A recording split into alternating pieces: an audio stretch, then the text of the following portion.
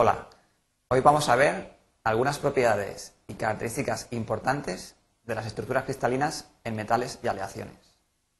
En particular, estudiaremos la estructura cúbica centrada en caras, la estructura cúbica centrada en el cuerpo, la estructura hexagonal compacta y finalmente veremos una relación entre las estructuras estudiadas y las propiedades que vienen definidas por estas. En primer lugar, la estructura cúbica centrada en caras se denomina CCC en eh, español, mientras que en lengua inglesa se denomina FCC. La notación de esta estructura es muy importante porque en diversos libros aparecerán como una o como otra, y es importante diferenciarlas bien y no confundirlas. Un parámetro muy importante relativo a las estructuras cristalinas es el factor de empaquetamiento atómico. En el caso de la cúbica centrada en caras, es un factor de 0,74, es decir, un 74%. ¿Esto qué quiere decir?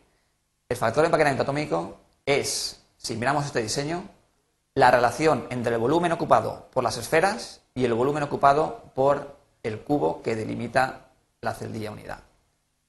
En este caso, repito, cúbica centrada en caras, tenemos un factor de empaquetamiento atómico del 74%. Esto quiere decir que esta estructura es compacta. Compacta indica que las esferas ocupan el máximo volumen posible dentro de la estructura. Es decir, no se podrían juntar más.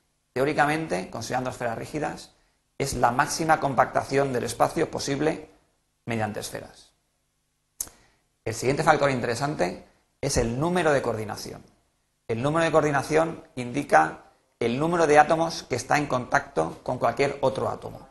Esto se ve muy claramente mediante un símil de pelotas de ping-pong, en el cual podemos observar cómo cualquier átomo, y en particular este, está en contacto con otros 12 átomos. Veámoslo. Está en contacto con los cuatro átomos del plano inferior, los cuatro átomos de su misma cara y los cuatro átomos que habrían en el cubo de al lado. Por lo tanto, en la estructura cúbica centrada en caras tenemos un número de conexión de 12. El siguiente parámetro importante sería la relación arista-radio, es decir, la relación que hay, si miramos en el diseño, entre la arista del cubo y el radio del átomo. Esta relación se reduce mediante eh, geometría y viene a ser que la arista es igual a dos veces el radio por raíz de 2.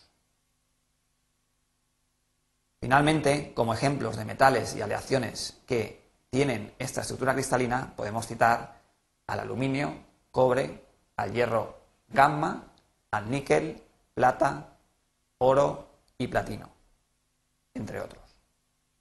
La siguiente estructura cristalina importante es la cúbica centrada en el cuerpo. Asimismo, describiremos los factores más importantes, como hemos hecho antes con la cúbica centrada en caras. El primero de ellos es la notación. Es muy importante diferenciar de la cúbica centrada en caras, porque en este caso lo denominamos en español mediante CC, solo dos Cs, cúbica centrada. Mientras que la notación inglesa es eh, o da menos lugar a equívocos porque es más clara. En este caso es BCC, Body Center Cubic. El factor de empaquetamiento atómico en este caso es inferior, es decir, esta estructura no es una estructura compacta, es solamente del 0,68, es decir, el 68% del volumen de la celdilla unidad está ocupado por esferas. El número de coordinación en este caso es muy fácil de individuar. Podemos observar cómo efectivamente el átomo central, el que está en el centro del cubo, está en contacto directo con otros ocho átomos, los cuatro de una cara y los cuatro de la cara contraria. Por lo tanto, el número de coordinación en esta estructura es 8. El siguiente parámetro importante es la relación arista-radio. En este caso, al igual que en el anterior, haciendo una relación geométrica, podemos llegar a obtener que la relación entre la arista y el radio es igual, que la arista es cuatro veces el radio dividido raíz de 3. Y finalmente, como ejemplos de metales o aleaciones que eh, se ordenan según esta estructura cristalina, podemos citar el hierro alfa, vanadio, cromo, molibdeno wolframio o el titanio beta, entre otros.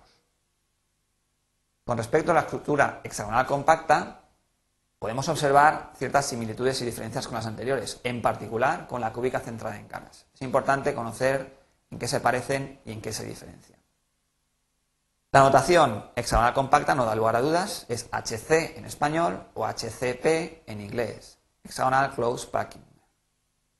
El factor de empaquetamiento atómico, en este caso, podemos observar que tiene el mismo valor que en el caso de la cúbica centrada en caras. Es decir, es una estructura compacta.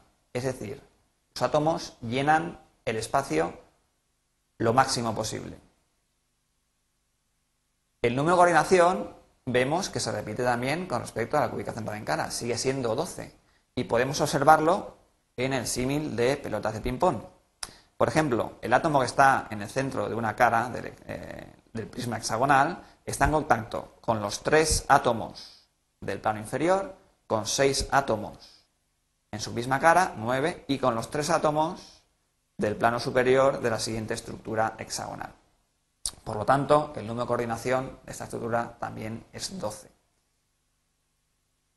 La relación arista-radio, en este caso, al ser un prisma de base hexagonal, la arista, claramente, es dos veces el radio. Es muy sencillo. Hay que tener en cuenta que en esta estructura también tenemos dos parámetros de red.